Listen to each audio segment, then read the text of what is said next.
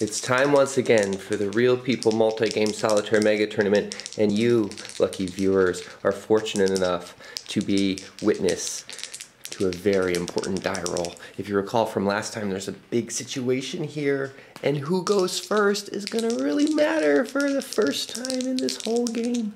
So this orange die is Sunny's die, and this black die is Betty Crocker's die. And I'm, I'm going to roll Junior's die separate because uh, they're the same color.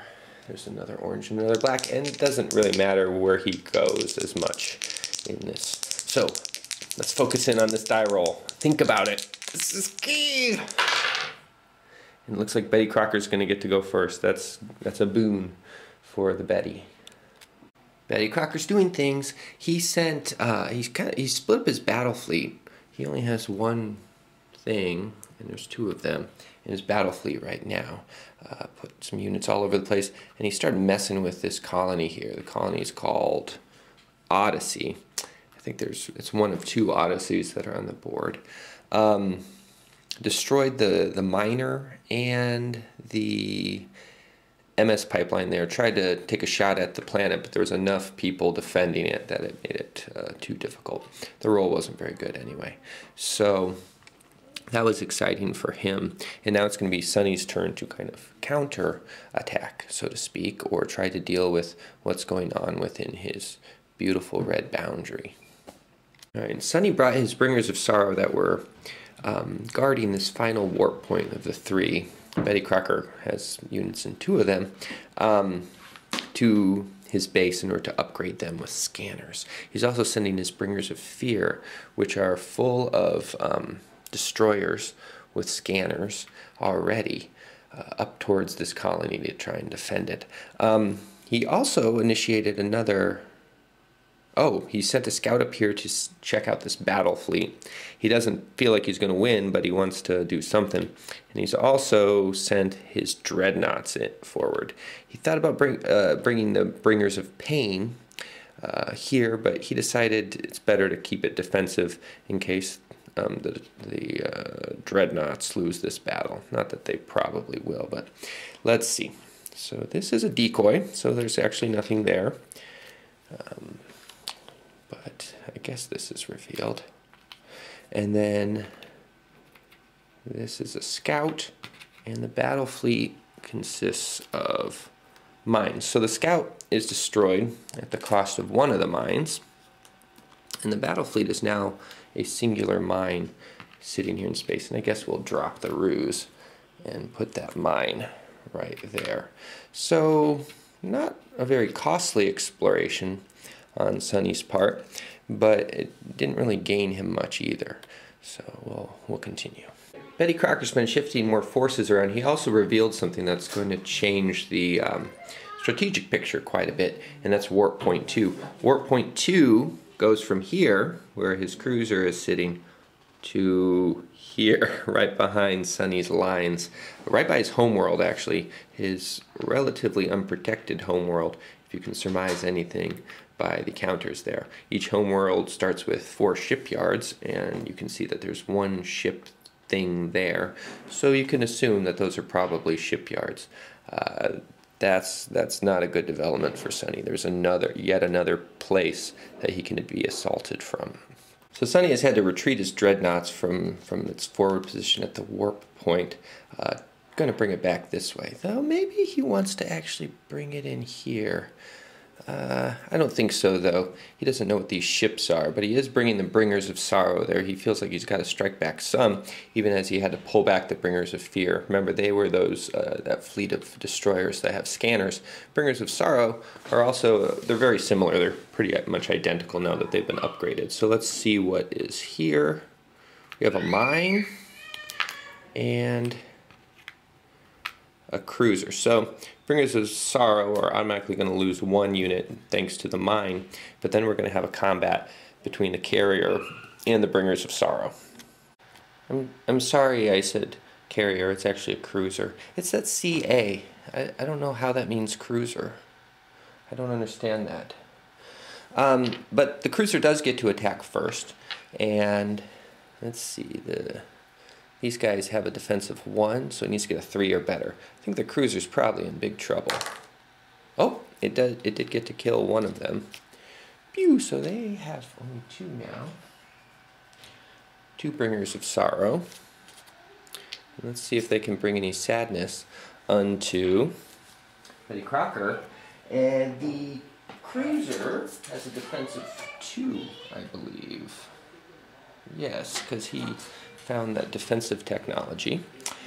And so they have to get two or better. And by better, I mean less. They failed, and they failed. Now, Betty Crocker has a decision. He could retreat that cruiser from there to cause more trouble, or he could just continue prosecuting the fight. Oh, actually, that three should have worked because they have a fleet bonus. So never mind, he's dead. Um, I forgot. So they actually have five minus two, so they need three or better. All right, so that's it. We shall see if they got any sort of um, experience from that. Um, kind of a costly victory for the Bringers of Sorrow. They lost a lot of good friends, um, but I guess maybe the sorrow they bring is unto themselves. Let us give thanks to Wolf Corbett, for he has dispelled the mystery of the CA. Uh, the C stands for cruiser, as you might think, and the A stands for armored. And apparently it's from boats that this came. I don't know why it's from boats. These aren't boats, they're spaceships. I guess ships are boats. But they're in space. Why can't they come up with their own names for things that make more sense? More progressive names like, uh, or initials like CR could be cruiser. If it's the future and we've, we've, we've got all this great technology, why can't we retool our language so that it makes sense to the layperson such as myself? Let's check in with our Doomsday machine. It's moved. It's been moving. On, it kind of came down here and now it's been moving across this way. It's actually closer to the other alien planet now than the former one. So depending on where it goes, it seems like Junior could just colonize this planet, get some alien technology, and then maybe the Doomsday Machine would even take out these aliens.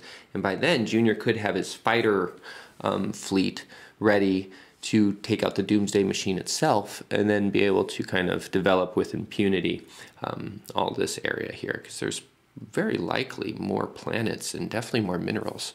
Uh, Junior does like to get minerals. Betty Crocker's revealed even more planets up here. He just needs to get them colonized. Uh, kind of split in his efforts prosecuting here. And he's starting to get closer to Junior, too. You see Ju Junior's come this far uh, with a mining ship, no less, to grab some precious resources. Um, he also sent a, a raider here to bombard this place, and I guess he has to reveal that. Uh, wasn't successful, but he did get rid of the MS pipeline there. So that's going to cut off three bucks from from Sunny, and Sunny's also not going to be able to uh, pull from this colony uh, so long as that raider is there. Um, he does have the Bringers of Fear, which can come back at it. Uh, he also sent, did some more maneuvering, sent a, a fleet of raiders off of the Frontier Fleet through this warp point here and he's at uh, the bringers of sorrow are once again in battle. Um, there's two of them, four of these fellows. So what we're looking at here is the bringers of sorrow have a defensive advantage because um, these people are essentially hull zero, so they can't have any defensive advantage.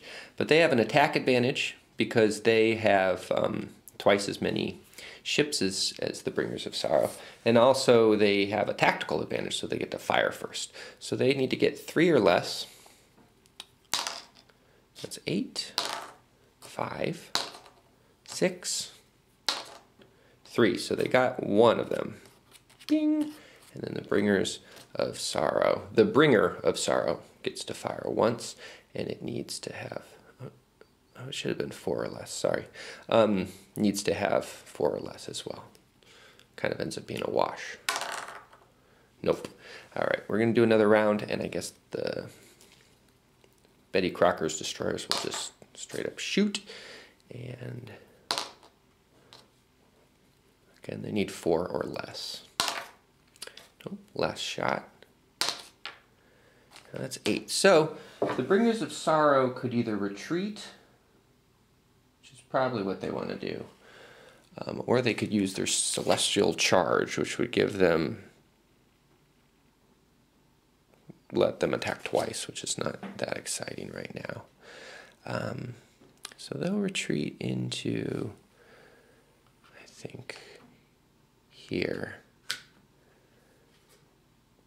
Yeah. Or they could also go here. Now, the Bringers of Fear have that covered. So the Bringer of Sorrow is going to retreat here.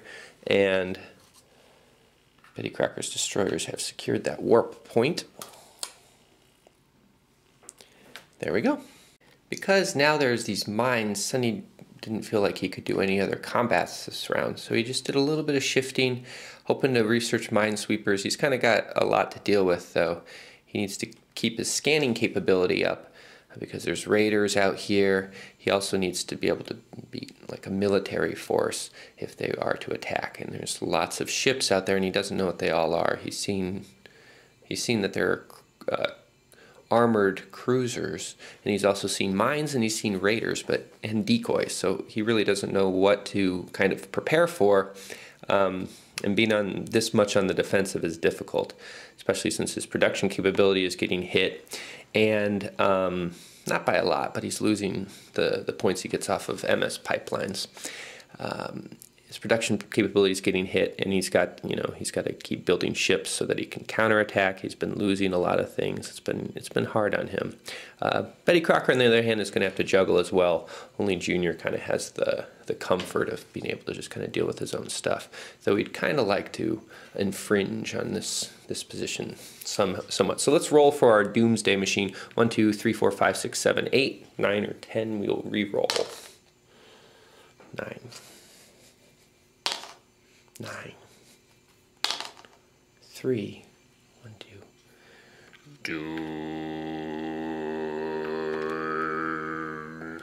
Ooh, so that is going to put it within two of these alien ships. So we're, we're going to the economic phase sequence, but after a round of, uh, of turns after that, the Doomsday is going to face these aliens, and then Junior might be able to pick off whoever's left with his uh, raiders by then. Or, I mean, his fighters, sorry.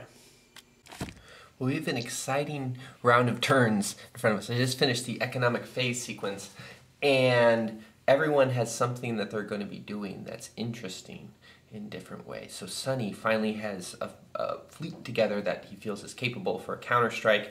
He's going to be taking it back to Betty Crocker, who has got things going on all over the place, which is fun for him. He's got lots of colonization he's going to do.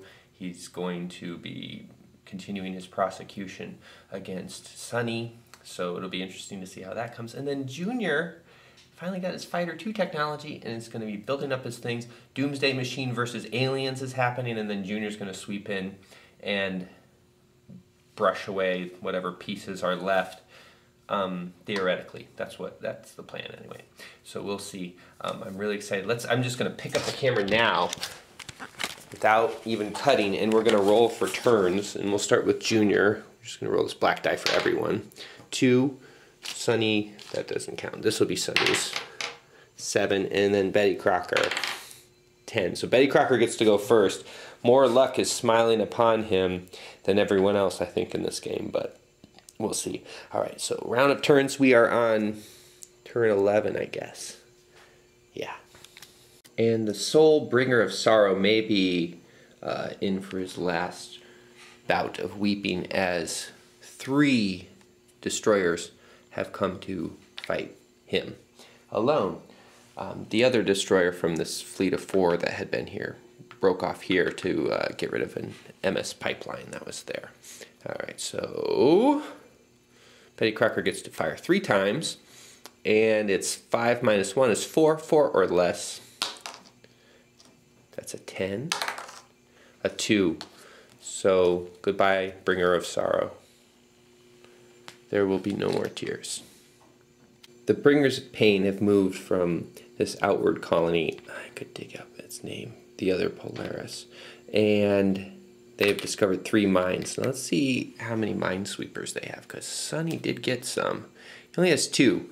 So one of the mines is going to be able to destroy another unit. I guess I'll just turn all these up because they're revealed now. BB, BC, DD, and yeah, BBBC. So it's probably going to be a BB. It could be a DD in order to get rid of some of the scanning potential, but that's not going to be enough to really matter. So a BC gets destroyed. The rest of these mines got swept up, and one exploded. All right, all right. It's time for the Doomsday Machine versus the aliens. Uh, I want to make a quick note when I was looking at the Doomsday Machine stats, I noted that it is immune to fighters via the rules, but I'm going to ignore that because eh, I'm always of the opinion that if you're kind of a, of the assumption of something, especially when I'm running three people, and really this is a game that's probably best played um, solitaire or with others, I mean.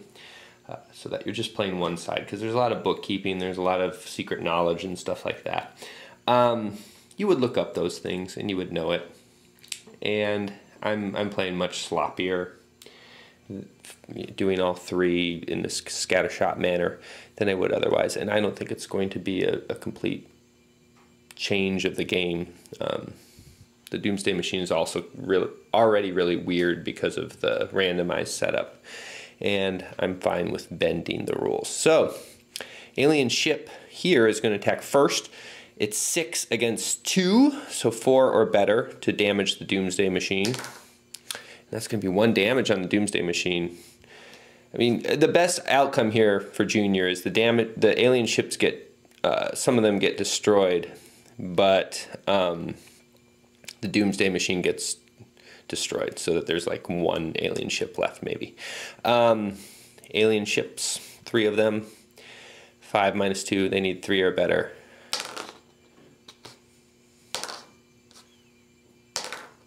No dice. The Doomsday Machine gets two attacks. He's going to attack the strongest one first. And it's at nine minus two, seven or better.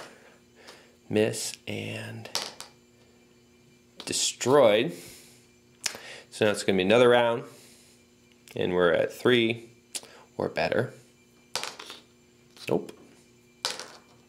Yep, that's two damage on the Doomsday Machine. Oh my gosh, one more and it's gone. Nope. Doomsday Machine gets two attacks, seven or better. One's gone. Two are gone. This is it, alien ship. Pretty much got to get this one. Three or better. 30% chance of a better life for Junior. Nope. And the Doomsday Machine's going to attack back. And that's it. So unfortunately this damage gets healed. I'm really tempted to leave it, but I'm not going to. We're going to let the Doomsday Machine be right here. It's cleared out the aliens. Now it's going to be up to Junior next turn to see if he can take out the Doomsday Machine it is quite possible Betty Crocker is overreached. He has sent in his battle fleet, which consists of 10 destroyers, to take on the entirety of the Bringers of Pain, which is no small force. It's not the strongest force, but he's kind of changed tactics. He's going for a full frontal assault rather than the guerrilla stuff, which is, I don't know if it's the best idea, but we'll see how it turns out. Um, he's blockaded two of of Sunny's colonies up here. So he, you know, he could do well just to wait, but he's going right in. So we're gonna roll this out, and I know how much you love to watch me roll dice. So first, this BB, which is uh, what is a BB? It's a pretty good one. It's probably a battleship. Yeah, it's a it's a battleship, and and maybe Wolf could tell me why it's a BB instead of a BS. Um, but it's going to attack the DD. It's got to get five or better. And it's killed one of them. Choop. Now the BC, which is battle cruiser, gets to attack twice because there's two of them. And they miss. And they miss. Now the all the destroyers, all nine of them get to attack. And they're going to attack these um, sweepers, I think, first. Well, it's a tough call. It'd be nice to get rid of the sweepers.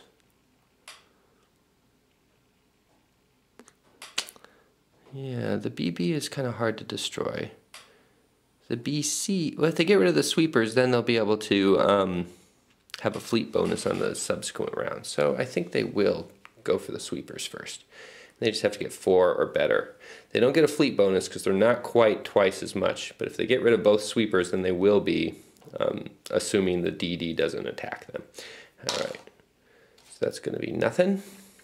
Four or better is the, oh no, three or better. Nope, that's two out of eight, or out of nine.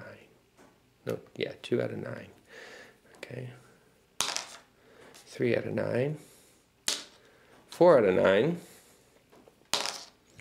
That's one. Five out of nine. Six out of nine. That's both of them. Seven out of nine. So now they have two more shots. Um, they could go for the DD or the BC. I don't think they want to mess with the B. Yeah, I think they're going to go for the DD just to. Okay, so we have two more rolls, and they still need three or better. Nope, and nope. Okay, so now the DDs get to attack. They need four or better. Nope. And nope. All right, now I think it's time for Sunny to use his charge ability. So all his units are going to get two attacks, but then um, Betty Crocker's uh, forces are going to get plus one due to their attack for the rest of, I think, the fight. Okay, so BB needs five or better, I do believe. Yeah. And that's going to get rid of one.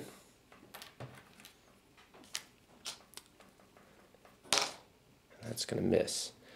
BC, so I'm going to roll four BC rolls. And that's one. They no longer have their bonus, I don't think. Miss. That's another one. And that's another one. That's three there. And then, he, so now Betty Crocker could just decide to retreat. And I think that might be wise. So if he were to attack, he could get rid of some more units. Thing is, is if he loses this fight and all his units are gone, uh, Sunny has a clear shot in the next two turns to get to this colony here. Whereas if he retreats, he can go here, and then that's going to slow him down. Well, not really. It wouldn't really slow him down, would it? Yeah, I think he'll just fight it out. Yeah, I guess so. Since he has the opportunity to attack, he's going to go for the DD 5 or better.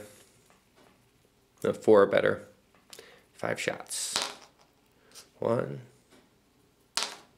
two, three. Oh, Betty Crocker.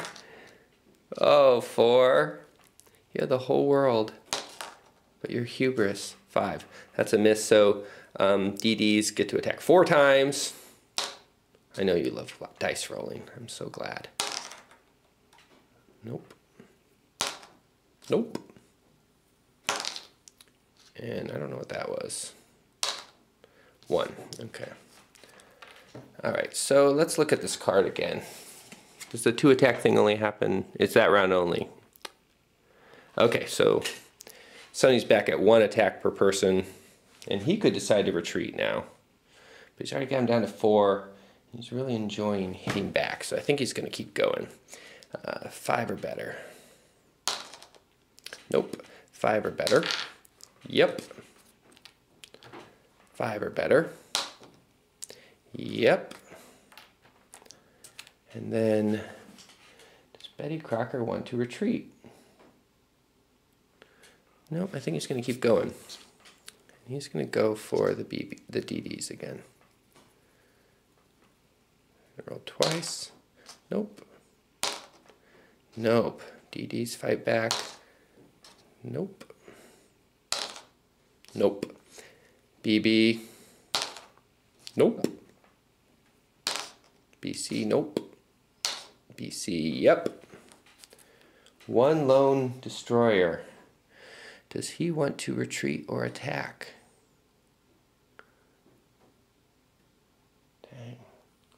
I think he better attack. He's not going to get a better advantage than this. So, not a necessarily advantage, but um, he's lost the fleet bonus. They have it now. I hope I didn't mess up a roll earlier, but that's okay. He missed. All right. So they get five or better. And Betty Crocker's forces were decimated. He took out the minesweepers, though, so that's something. It's time for Junior's big fight against the Doomsday Machine. Now, I probably should have thought about this more. I don't think this is going to be too tough for him.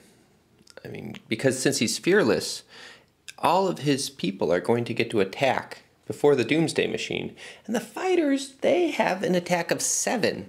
So they just need to get five or better. There's nine of them. I can see why they make the Doomsday Machine immune to fighters normally. There's nine of them. They need to get five or better. Chances are this Doomsday Machine is going to be out before much else happens. Attack strength is 7. The Doomsday Machine's defense is 9. It's one hit. Not a hit. Not a hit. Two hits. Oh, I didn't even count that. That was maybe four rolls. Okay, Doomsday Machine's gone. And I think we'll go ahead and roll for the experience right now. Um, so they're gonna they destroyed something of a hull of three, so they get need to get a six or better, but they get a minus two to that. So we'll say eight or better. Minus one because they have military academy two, and another minus one since its hull size was bigger than the fighter's hull size. so I got a 10. They're, um, despite the odds, they do not become experienced by destroying the Doomsday Machine, which I think makes sense. It was pretty easy for them. And so our 11th round of action turns ends with the Bringers of Pain going back to the colony instead of going forward. Uh, Sunny figured if he went forward, that would give um, Betty Crocker some time to rebuild some forces and come back and counterattack and get rid of some valuable ships. And he doesn't have any minesweepers anymore, so he decided to go back. Um, the destroyers are have taken taken out some chunks on Sunny's territories. Um, Sunny's getting hit economically. That's going to make it harder for him to recoup, but he has some more focus now. He has the technology he needs, and he's he's buttressed some of his colonies with bases, so he can put more money into um, the little money that he does have into um, counterattacking. Uh, colonies are being built in this wing here, uh, but Junior has moved Logos, which is his group with all the fighters that just uh, fresh off their success against the Dooms Doom. I, I forgot what it's called. Doom. Doomsday Machine. I wanted to say Doomstar. We'll call it the Doomstar. Uh, fresh af- off their success against the Doomstar going forward. He's also successfully researched Terraforming 2, I believe. No, he's almost there. He's four away. So he'll have Terraforming 2, be able to start rebuilding, um, or not rebuilding, but building a lot more money. Terraforming 2 lets his miners go to these nebula and just harvest five every turn from them. Uh, so that's going to be really good for him once he has that going. There's a lot of nebula over here. Everyone over here is distracted. Um, so that's going to make for an interesting situation. Uh, Betty Crocker's going to need to put Sunny away fast if he wants to be prepared to deal with the what Junior has coming. Uh, he has more colonies, but if you know with the nebula that Junior's going to start being able to harvest, Junior's going to have a, a, lot more production capability, maybe about the same as Betty Crocker. We'll see next time on the Real People Multi-Game Solitaire Mega Tournament. Buralti Leg 5, Space Empires 4X.